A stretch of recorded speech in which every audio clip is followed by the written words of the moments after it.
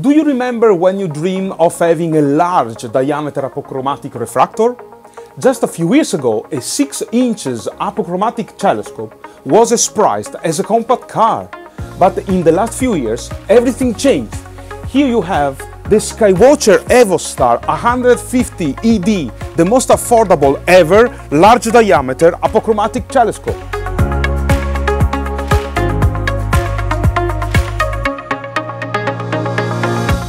Skywatcher EvoStar 150 ED is a 150 mm diameter apochromatic refractor with a doublet ED front lens and 1200 mm focal length.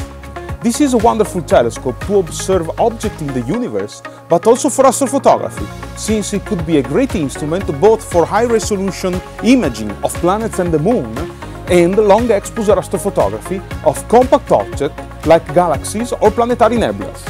As you can see, this is not properly a compact telescope, but the weight is 9.5 kilos, so it's not too heavy, and you can also use it on an EQ6 class mount. We prepared this telescope with our 155mm plus support rings to offer a better support without flexures. This way, thanks to our plus system, you can easily install in parallel a guide telescope, but also the Eagle. And you have also our Sesto Senso 2 robotic focusing motor connected to the focuser. This way you can precisely control the focuser without the need of touching it. And you can control it from a computer or from the Sesto Senso virtual handpad in your smartphone. A great telescope, isn't it?